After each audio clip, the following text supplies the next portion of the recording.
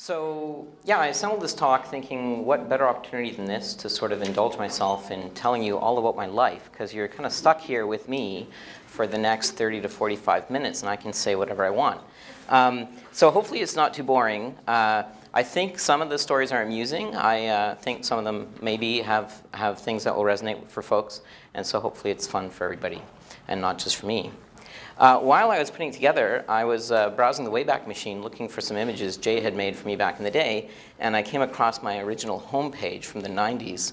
Um, if you can imagine an internet where you can put a link that embeds your email address on your homepage and actively ask everybody to send you email if they ever see that link, it's a very different internet than the internet we have today, where you would uh, minimally obfuscate your email address so you didn't get too much spam. Uh, but uh, I haven't changed all that much since this time. I have often said uh, that to my wife that I don't think I've changed since I was 13. She asserts that I have, but uh, she never says whether it's for the better or worse. so um, this was originally going to be an About Me slide, but it grew into the entire talk. Um, so uh, like I said, um, it's going to be more or less pure indulgence. Uh, I just wanted to say for, for some of the stories, especially the first few here where I try to explain why I'm still alive, um, please don't try these things at home. Uh, so they're risky. Um, and uh, obviously, it's a great honor to be selected for the for the award, and so thank you for, to the selection committee of the university for recognizing me.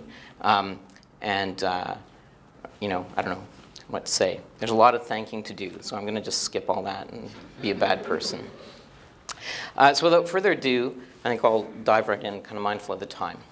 So uh, the slides are background noise to the talk, so I'm actually going to say something that is related to but not what's on the slide. So if I'm getting boring, you can read the slide and see if it's more interesting. Uh, I had this awesome uncle growing up in Greece uh, who worked for the Greek electrical utility. And he loved to do experimentation. And that was amazing because he was an adult. And so I could do things with him that were clearly adult supervised, um, that were possibly not as supervised as one might imagine. And the best thing we did was we took these pipes that had bolts that fit tightly in them and we fitted fins on the back to make bombs. And we spent a whole evening scraping the match heads off of self-striking matches to accumulate a big pile of match powder. And you mix that with gunpowder and you put it in the pipe and you have a thing that's ready to explode. This is, I mean, I was 12 or something. Is awesome. Um, and this is in Greece. Uh, I was living there for a year at the time because my dad was on sabbatical from the University of Manitoba. And uh, my uncle had to go to a shift at the electrical utility. And he left us with a very clear admonition. Under no circumstances are you going to try these bombs before I'm back in the morning. And he left. What could go wrong? so in Greece, the roofs are flat because there's no such thing as snow. And so you just walk up the staircase to the roof, and you walk across the roof, and you walk to the edge, and it's nice and dark, and you hold the bomb like this, and you drop it, and it falls, boom! This enormous flash. I mean, it was so bright, it was so loud, it was so awesome. Let's do that again! And we run back downstairs to grab the bomb and reload it, and all we find is the bolt. The pipe part of the bomb is mysteriously gone. And we're 12 and we're not putting two and two together. So we think, you know, now how do we avoid getting caught? We better stop here and not do another one. We did have another one ready to go. But in our wisdom, we decided to save it for morning. It really doesn't come to my recollection how it is that we avoided getting in trouble for that because uh, the next morning we went to do it again with my uncle in attendance. It was awesome. He thought it was awesome. We were going to do it again. It was going to be awesome. And so I'm standing there holding this thing by my head, looking down, and there's these nice bright white fins on the back of this black pipe and the, and the bolt in it. And I drop it, and bang, and flash, this white thing goes right by my head. and that's when I realized, hey, we've invented a new kind of gun. It's shooting the back half of the bomb right past my head on the roof of the house so fast that I could barely see it fly by me out of the corner of my eye. And if I had just dropped it like this, I wouldn't be here. That's the difference. This versus this. Life-saving fact, don't drop a bomb in front of your head. Um, so uh, this, of course, didn't dissuade us from building bombs, but we realized we needed an automated release mechanism. Because obviously it was too dangerous to have a person up there. It didn't occur to us to stop doing it, you see, because that obviously would be the wrong path.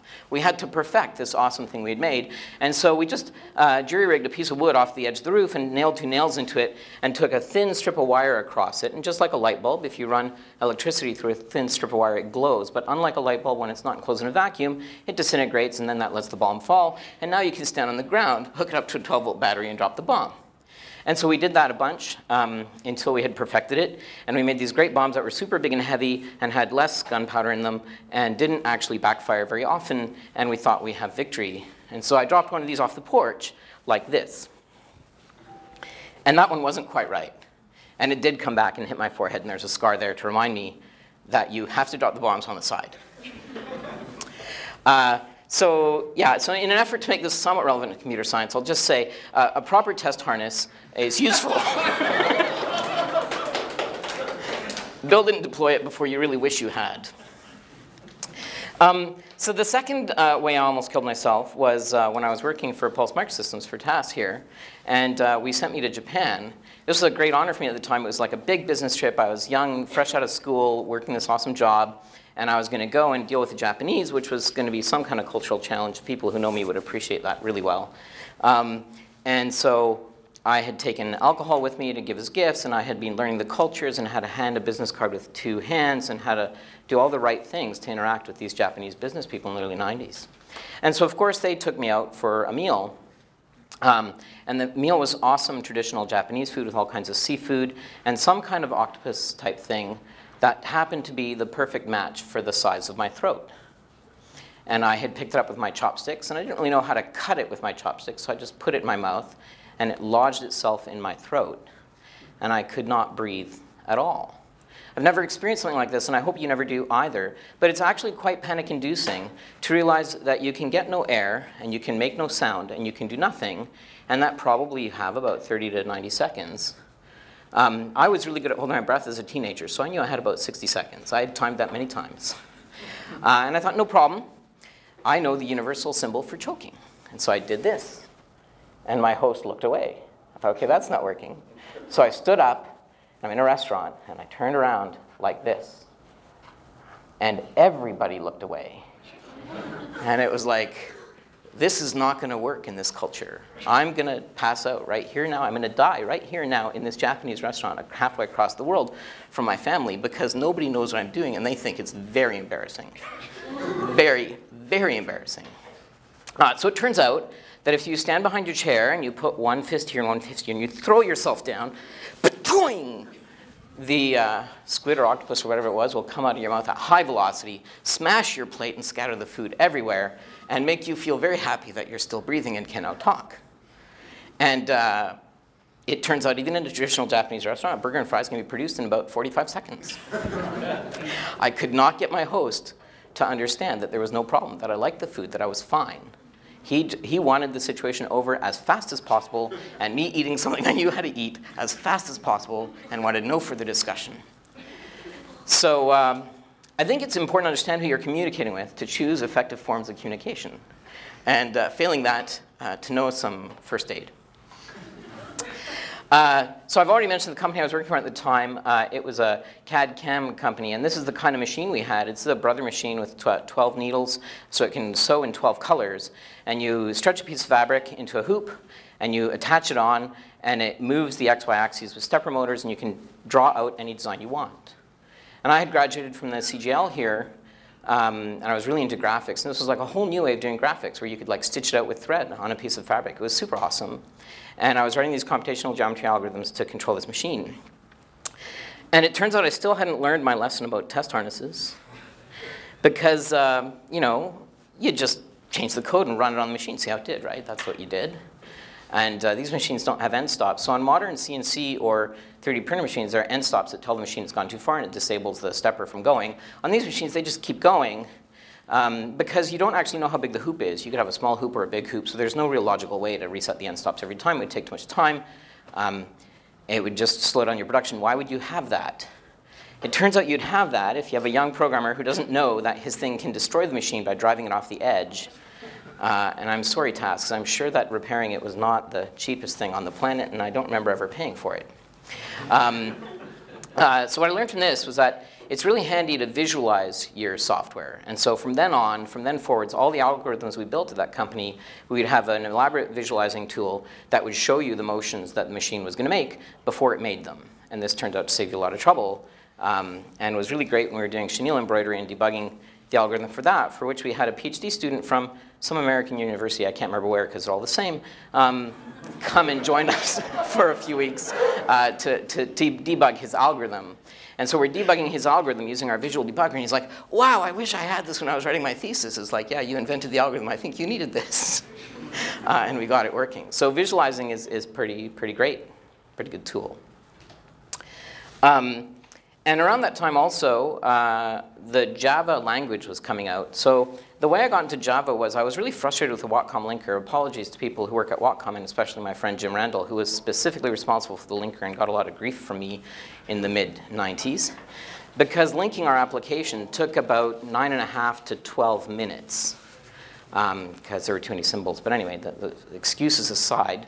Um, and so nine and a half to 12 minutes was a long time. Uh, we even came up with this idea that wouldn't it be great if you could have a device that would make your CPU go faster? Let's say every time you put a, corner, a quarter in the front of the device. And no sooner had we come up with that idea than we were coming up with a system that would feed the quarters in as fast as possible. um, and so we were out for dinner, uh, which was kind of a common thing for us then. I was out with Jay and, and others from the company. And I said, okay, we're, we're done with this. We're going to write a new language. We're going to rewrite everything in the new language. We're going to write a new linker. And then we're going to go back to writing embroidery software. And Jay, who was probably more interested in beer than writing a new compiler, uh, had a brilliant idea. He said, well, have you heard of Java? Which I hadn't. Jay was into all kinds of languages at the time, and so we'd both programmed a lot of different stuff, but I hadn't heard of this one because it was still in Alpha 3. And he introduced me to Java, and uh, that got me sufficiently distracted that um, we never did get around to writing our language. I still have ideas for it if you want to do your next startup. Um, and, uh, and so I wanted to win the Java Cup competition, and I knew that to win the competition, we would actually have to have an entry for the competition. And I, and I knew that to have an entry for the competition, I had to start more than one team. Because if I started only one team, they wouldn't finish. So I started four teams to enter the Java Cup competition, and I did an entry by myself. And the only team that finished was Jay and I. Thank you for finishing. Everybody else bailed out over the course of the competition. So redundancy is good for you uh, if you want things to work. And redundancy worked out in this case, and we submitted this game, um, and it did eventually win. A really interesting story is, uh, I guess no one but us will remember, that this was originally orange um, until we started looking at it on the displays of the day and realized that we had better graphics cards than most people and the orange wasn't going to work. So Jay desaturated all the imagery and we went from this nice orange earthy palette to this very black and white palette just to make sure that it would work well on all the machines. And we had optimized it, just to remind you what the internet was like at this time, to work well on 9600 baud modems and be able to deliver game updates every half second at that speed and that was pretty, uh, pretty good for the time.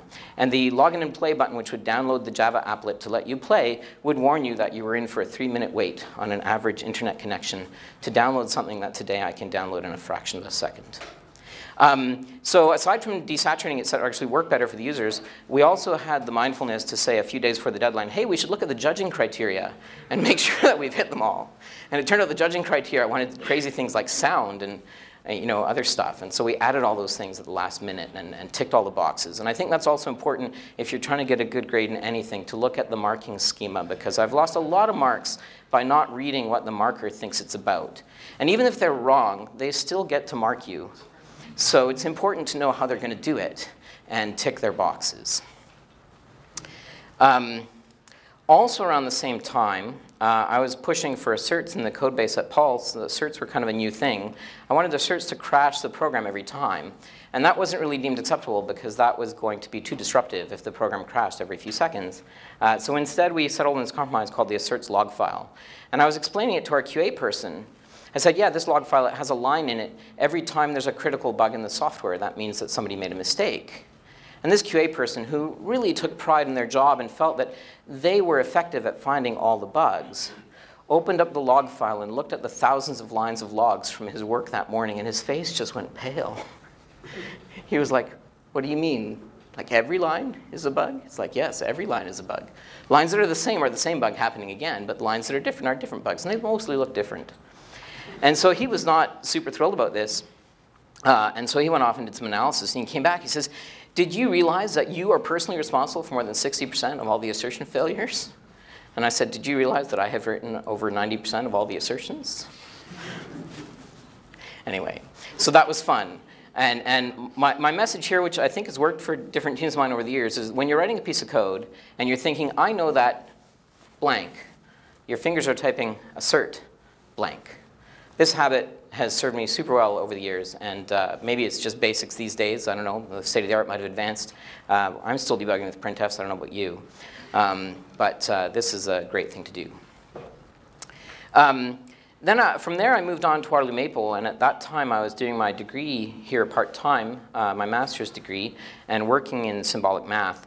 Um, and I was really excited to be working at Maple because I had this notion that symbolic algebra systems were going to enable us to do work that you couldn't possibly do by hand. And so what I was doing from a master's degree was uh, writing a thing, uh, a new technique for deriving wavelet bases. So I wanted to come up with wavelet bases where the coefficients didn't look like god-awful things. I wanted wavelet bases where the coefficients looked pretty. Now, um, Richard Bartels, my, my awesome supervisor, who was one of the most influential people on me while I was here at the school, uh, didn't really understand my notion of pretty. He wanted me to formalize that in some way, which I'm not sure I ever did to his satisfaction. Nonetheless, I did get pretty wavelet bases out, and I did that mainly using Maple. And while I was working at Maple, uh, I was working with a bigger team than ever before because I had always optimized for working at small companies, companies with like less than 30 people. And Maple had like 120. That was a big company, 120 people, lots of people. Google. Um, anyway, uh, so uh, the interesting thing was even in a company of like 120 people, we had this great bug where you would insert a formula into a spreadsheet, you do a few other steps, you insert a spreadsheet, uh, sorry, you'd insert a formula into the document. The Maple GUI would let you edit a document, which amongst other things could contain sub-spreadsheets. You'd insert a spreadsheet, you'd save it, and the system would crash. And so somebody fixed it. Um, and the way they fixed it was they opened up the spreadsheet save method and they added a call to undo at the top of save. QA did their work and verified it, bug fixed, ready to ship. And they filed a new bug that said, every time we save a worksheet, the last thing we did is gone. it's like, yes, that is actually what happens when you call undo at the top of save. The last thing you did is gone. And so I was tasked with fixing that one and found this fix. And uh, uh, this really sold me on the value of code review. Um, so I don't know how well indoctrinated code review is everywhere, but at Google we use an internal system for it. That's, it's just the way you get things submitted all the time. Um, and I highly recommend code reviews where you don't do it by looking over each other's shoulder. It's really hard to tell somebody that they're wrong, like to their face, depending on the relationship. It's much easier to be mean over email. Um, now, maybe your goal isn't really to be mean, but still, you're going to find more bugs if you do it over email. So that's my recommendation for, for code review. Um, so that was pretty interesting. And then back to the thesis thing for a minute. Um, my whole worksheet, my whole thesis was a worksheet that generated all of the formulas and matrices and everything. And I could just sit there and hit enter in Maple and crank out each successive step so that there were no errors. And so I was very pleased when uh, Stephen Mann, who I believe is still teaching here uh, in the graphics department, uh, who was a reader for my thesis, handed me the thesis back and said, um, I circled places where I thought there might be errors in your math. Now that I've seen your talk, you can ignore those comments. That's how we should all do math, I think. Computer algebra for the win. I know Maple's a little obscure, but it's good. Um, the other interesting thing I learned at Maple was I was working for this manager who I think everybody but me hated. Um, uh, he was actually uh, good in some ways. Uh, all managers are good in some ways. Let me, another piece of wisdom I'll pass on to people. As a manager myself, I will say, if you hate your manager, remember that they are also a human and probably have good motives for what they're doing, even if they seem stupid and pointy-haired to you. Um, anyway, so everybody thought Paul uh, Hamilton was stupid and pointy-haired, uh, but he had one very brilliant uh, observation, and that was that if you build a schedule like this in your Gantt chart, and you're 85% accurate at estimating all of your tasks, then your odds of completing this tiny four-week schedule are 52%. Um, and 85% accuracy, I would suggest to you, is really good accuracy for estimating a coding task, so you're probably not that accurate in the first place. And so if you build schedules like this, you're for sure going to fail. And I think everybody figured that out somewhere along the line and decided, well, therefore we can't do schedules, we should do something else called Scrum or something, um, and not know at all when we're going to finish. But let's say you actually have a project that you wish to know when it will actually finish, and you want to finish actually at that time. Let's pretend that there was a reason you had to hit a date other than your pointy-haired boss. Um, there is a way to do this, a way that has worked for me before with teams up to about size 30. Um, and so I thought I'd take a minute and explain it. Uh, so this is less of a story and more of a lecture segment, but it, you will wake up at the end. Um, basically, it's like this. You can't estimate any task that will take less than two days. The error bar on a task that will take you an afternoon is super high. A task that will take you an afternoon will either actually take you the afternoon or it will take you two days. And that's just too big an error bar. You cannot deal with that. You can also not estimate a task that will take longer than about two weeks. We'll call that eight days of actual working time.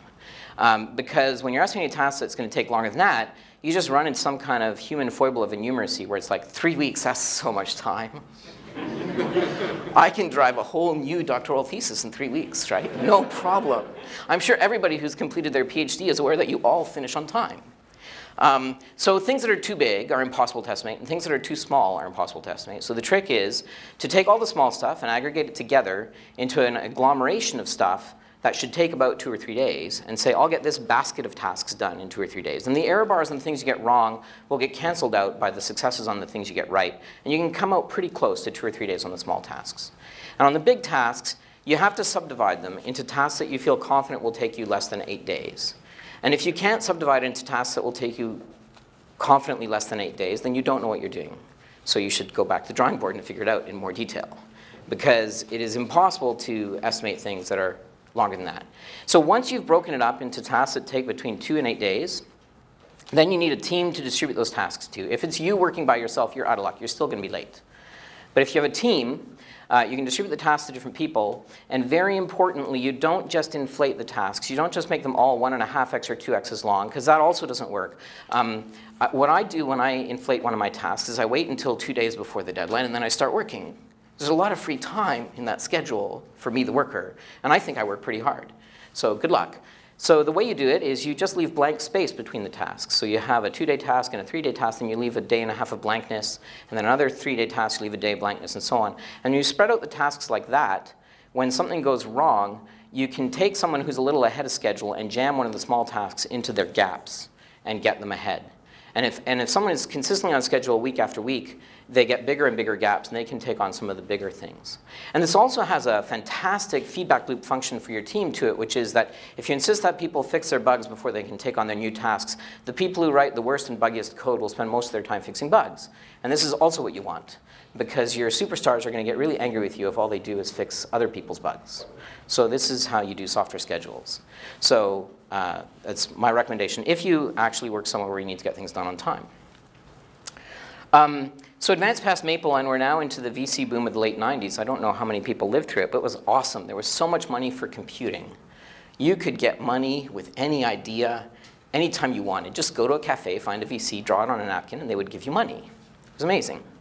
And so Ventures West came up with this awesome scheme where they were going to get ahead of that curve. They weren't going to wait for you to show up in a cafe. They were going to come to you while you were working on your PhD thesis and say, hey, you should start a company.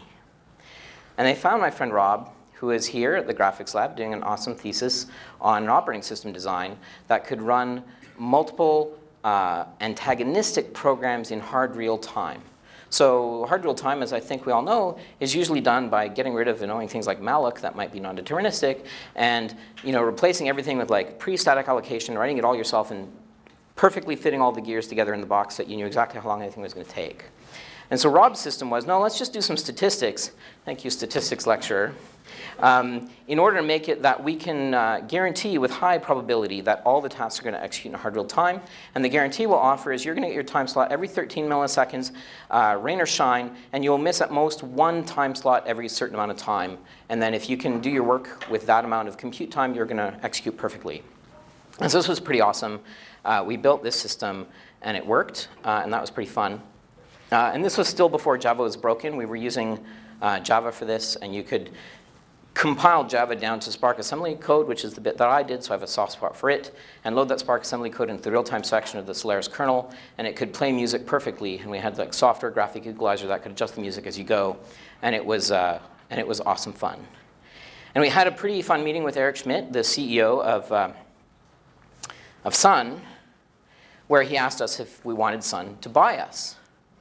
And we were thinking, yeah, of course we do. Of course we do. And our VC said, no, we were not pleased. It was not a good day. That was not a good day. The VC's goal was to get enough money into the company to control the company before it had an exit, not to enable Rob to sell his company and make money. And in general, that is what the VC's goal is. So if you're working with VCs to get your idea funded, remember to be really, really thankful for the money because it is going to cost you your control. Um, you could work with angels instead as a workaround for that. Or you could work with VCs and just live with the fact that you won't have control. I mean, the VCs are, in fact, giving you the money. It's very expensive to run a business. Uh, if you don't have the money, you should be thankful they give it to you. But you should expect to lose something for it. And usually the way they get up is, you know, the first round of funding and even potentially the second round of funding don't actually quite take away your control. But they give you an amount that sounds like a really big amount to you as sort of somebody who's interested in computer science as opposed to business. And in fact, they know perfectly well it's a damn small amount that will not last you any time at all. And so that is basically how VC money works. Um, and so it's, uh, it's still fun, uh, but it's you know, stressful too. Uh, so not having learned enough from the first startup, I went directly from that startup to my next startup uh, which was a database company uh, called Aruna or Joint Technologies. Um, and this was the one that was already referenced that was founded based on text search data structures. And it was brilliant, brilliant technology. Actually, I was really happy to hear that the award is based on brilliant technology, not necessarily successful technology. I got lots of the brilliant kind. Um, and this is one of those. And the idea was you just treat the whole database as a giant string and you put markup in it, show you where the column boundaries are and where the table boundaries are, but it's really just a giant text document, the whole database. And you build a suffix array on that. And suffix arrays are really, really good at certain operations like finding individual strings in the midst of the soup. Um, and instead of thinking of the database as a database, you think of it as a text document, and you translate your SQL query into a series of text search operations that will give you the same output that a relational database would do. Um, and this turned out to be fantastically effective for a large class of uh, difficult queries. We worked with one uh, insurance company in the UK where they had a big Oracle system, and the analysts were supposed to be answering business critical questions against the Oracle system. And the rules of the systems guys were simple. If you can't write your query to run in 90 minutes on our highly tuned Oracle database, you're not a good enough analyst, so come and try again tomorrow. And so you literally had a platoon of analysts coming in, they'd, they'd edit their SQL query from yesterday, they'd run it, it would take 90 minutes and get killed. They would tweak it, they would run it, it would take 90 minutes and get killed. They would tweak it, they would run it, it would take 90 minutes and get killed. And then they would go home and try again tomorrow. These are pretty good analysts who know a thing or two about statistics and math and query writing. And you might imagine that this work was super fulfilling, but actually it really wasn't.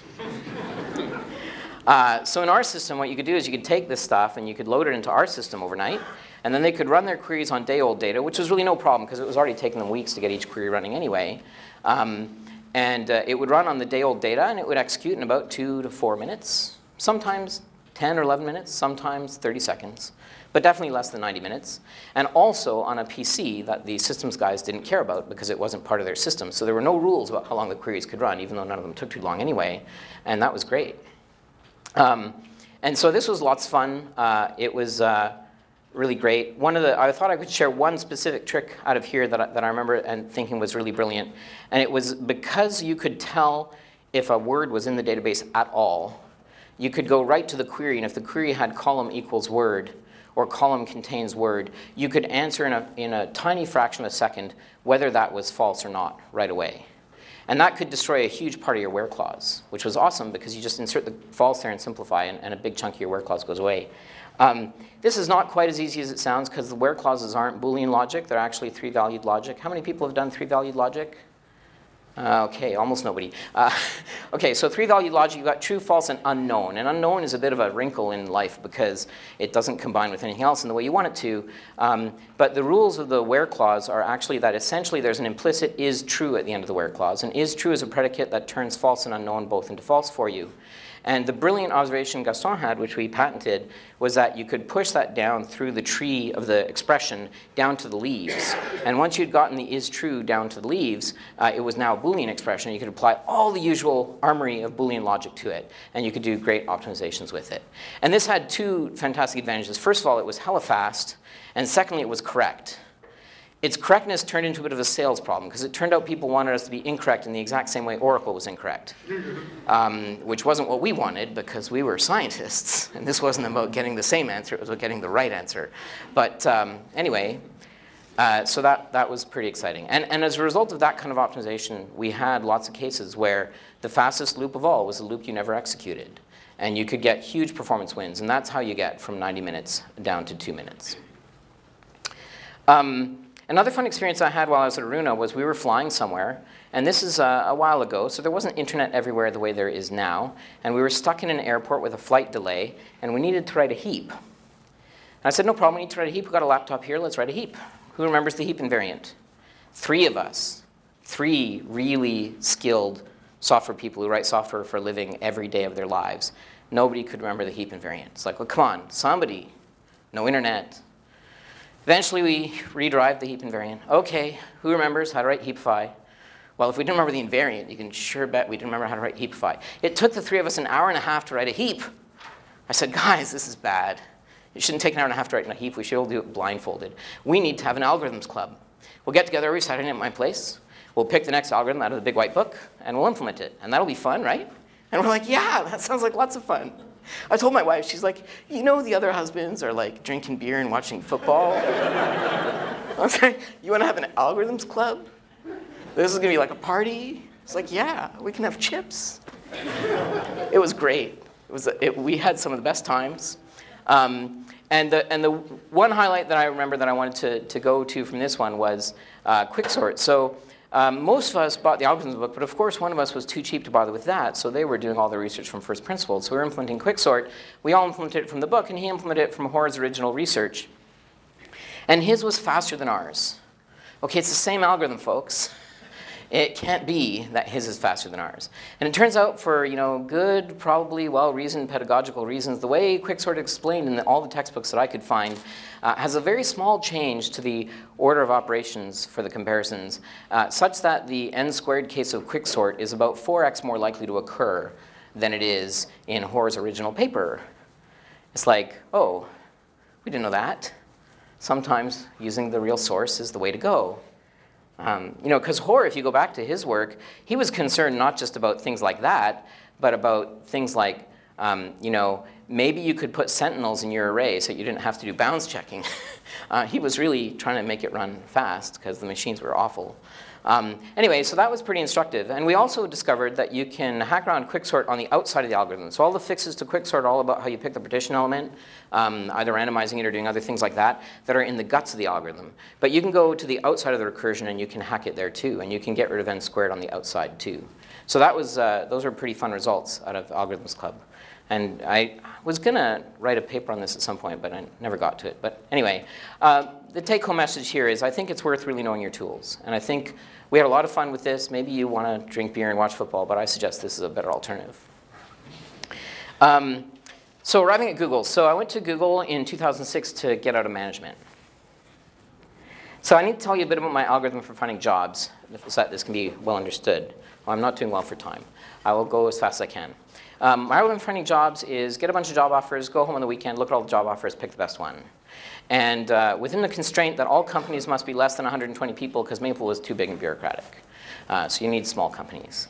Uh, so how did I wind up at Google? Well, it was like, well, I'm interviewing for all these jobs anyway, and Google is like a big name. I should interview there just for fun, just for a lark. They'll fly me to California. It's got to be good. And they flew me to California, and they, I did seven interviews in a row, and all the interviews at Google are the same. It's like, here's a technical puzzle, write the code for it. Here's a technical puzzle, come up with the algorithm for it. It was so much fun.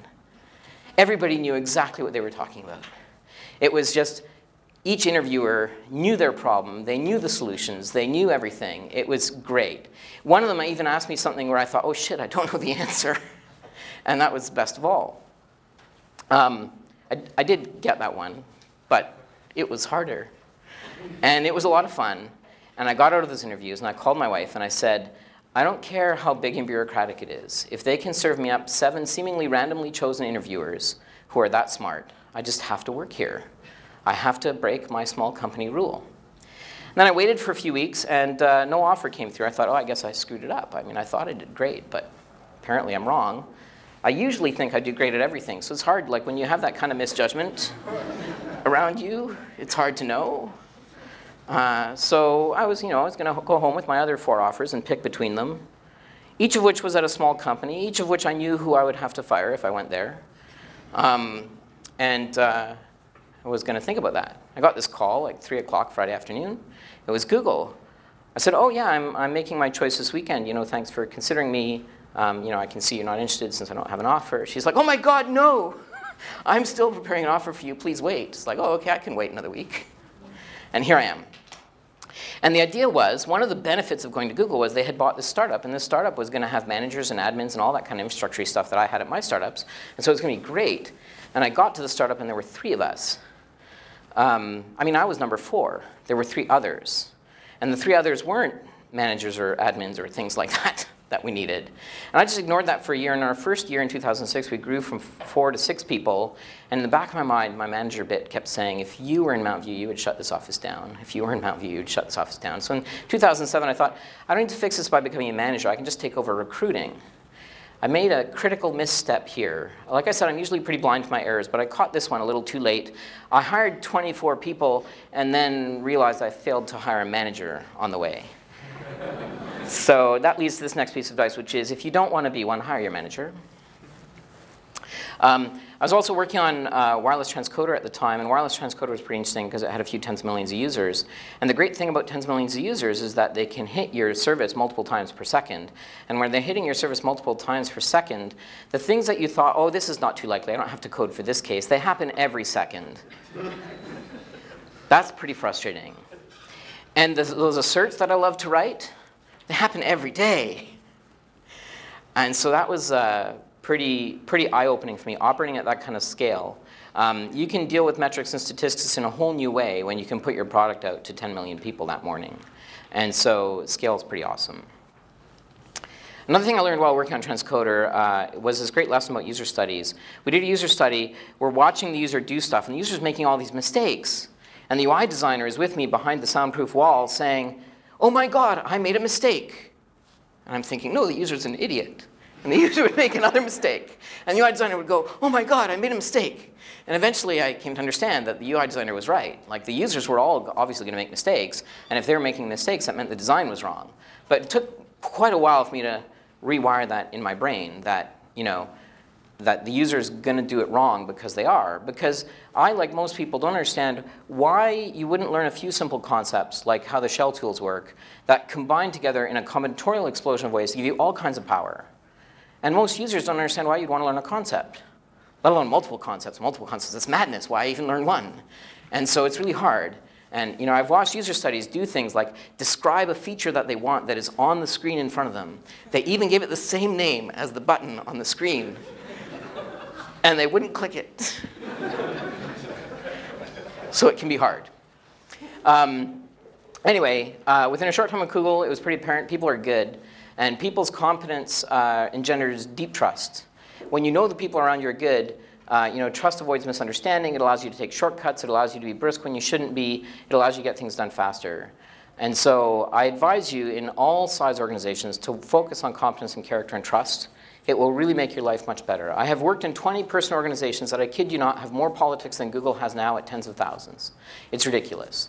And all those politics are rooted in one simple thing. The people don't trust each other. In the worst case scenario, people hated each other. When I sold, sold Gaston's company to, to his CEO, the legal agreement for the sale was this thick printed out.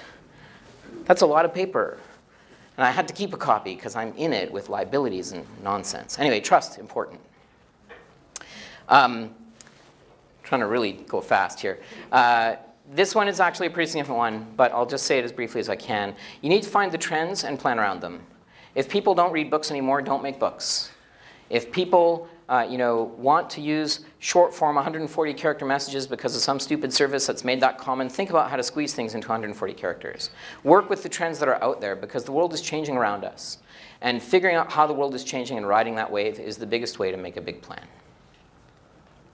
Um, this one I can basically skip. I love CNC, 3D printing, and cloud. These things are awesome. You can do so much prototyping now that you can never do before. This here is a picture frame I made a few weeks ago on the weekend where I just ordered some parts from China, assembled them together, and every morning it updates and shows you my weight chart, or shows me my weight chart right now, you my weight chart. As you can see, it's not that successful, but you know, I, I'm measuring it, and I have a belief that what you measure, you can adjust. Um, and then sort of related to trust is, you know, tell people the hard stuff when it's true. Admit that you don't know things, own your mistakes, own the mistakes of your team especially. Um, these things add up to a sense of integrity. And I think that when people sense that you are true to yourself and true to the principles you believe in, they are more willing to take chances with you and go with you places where they're not sure. And on the back of integrity, uh, you can do a lot of great stuff that's otherwise very difficult. And uh, integrity should not be for sale, and once sold, cannot be bought back. Do I have time for questions? You do.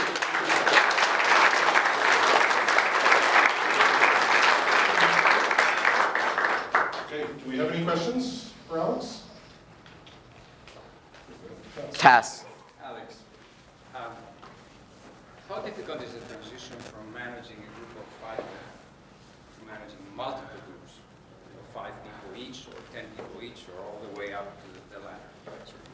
The question is, how difficult it is going from managing groups of five people to managing two groups of five, or maybe three groups of five, or ultimately, I actually currently have 180 something. Um, so it does get grow without bound, it seems. Um, I think there's a few different uh, steps to the transition. Uh, how difficult it is, I think, depends a lot on how much the person wants to be a manager. Normally, when I'm suggesting people that, that they think about management at Google, I ask them a key question that I think helps differentiate somebody who should not be a manager from somebody who should be. So I think this question is helpful before you even think about how hard it is. And the question that differentiates is, do you want to control what gets done, or do you want to control how it gets done? If you want to control what gets done, then you could be a manager because that's really all you get to pick is where you're going to put your pawns who are going to do all the actual work. If you want to control how it gets done, you can't really be a manager of any group bigger than five because you can't control the technical details of the algorithm and the actual work um, without actually still being in the weeds, right? So an individual contributor can maybe scale up to as high as a team of eight or 12 or something, but higher than that's not possible.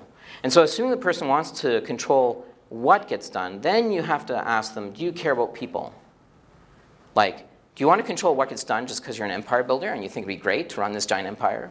Or do you actually care about each and every individual in your organization? You want to know when they're having children, what their life story is, what their life ambition is, why they happen to be working on this particular subroutine today even though they'd rather be doing something else.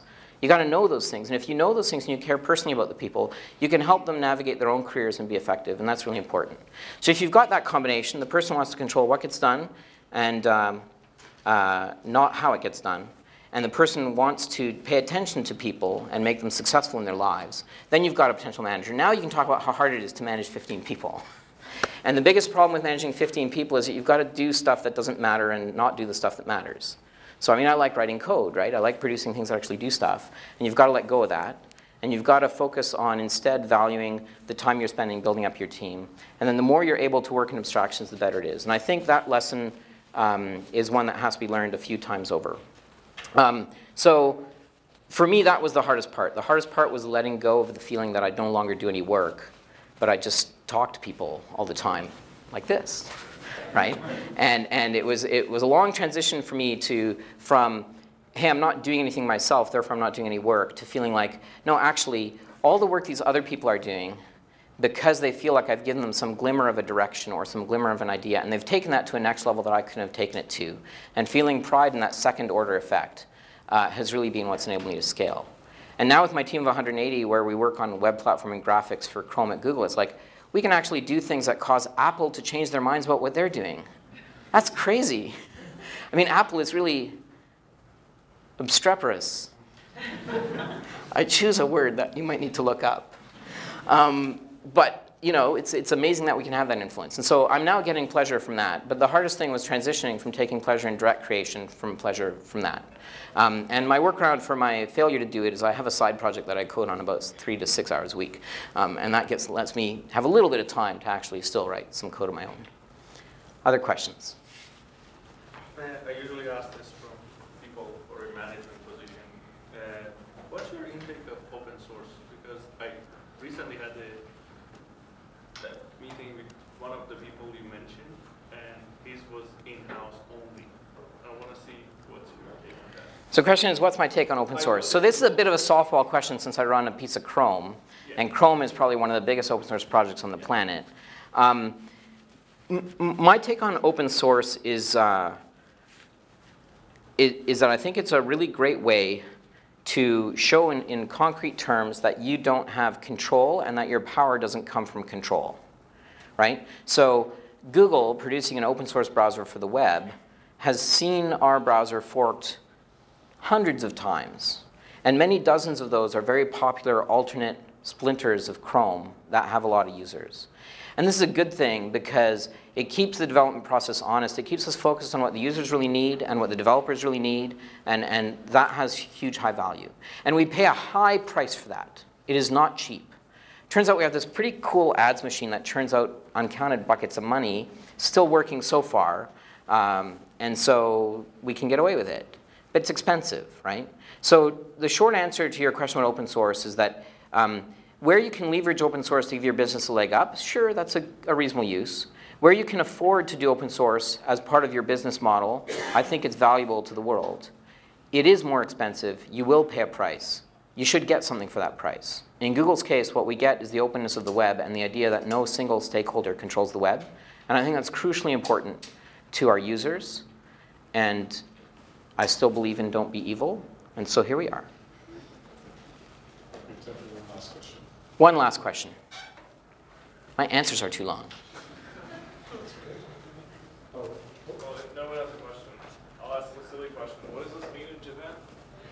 Uh, I, I don't actually know what this means in Japan, but the best I can guess is people thought that I was doing something weird and they wanted no part of it. um, uh, I think it just had no meaning to the people, and it was embarrassing that I was doing this strange thing. Um, it would be like if I had gotten up and started singing or something. They would have just thought I was drunk. Um, yeah, so, yeah, you, I mean, Universal just isn't, I guess. Just isn't. How, but how do they sign their choking? I, I, I presume they die. The question was, how do they sign? the question was, how do they sign their choking? In, in Japan, the notion that you would inconvenience somebody else is very deeply wrong. Right? When you see people wearing the face masks in Japan, it's not because they're afraid of your germs. It's because they're sick and they don't want to inconvenience you by spreading their germs. And they will wear the face mask for many days after being sick to avoid inconveniencing others because their whole psyche is not around the progress of the individual, but around the progress of the group. It's about the progress of society. And all your actions are measured by whether they're good for society. And it's just for a North American mindset, or at least my mindset, completely counter to everything I believe in. I'm, I'm like out here to win my games. I, like that you, you're, you're my opponent who is worthy to play against me. But to care about my actions helping you is not my first order thinking. In Japan it is. Um, and so I don't know, maybe if you're choking, you should die because somebody saving you would take time out of their day. Thank you, guys.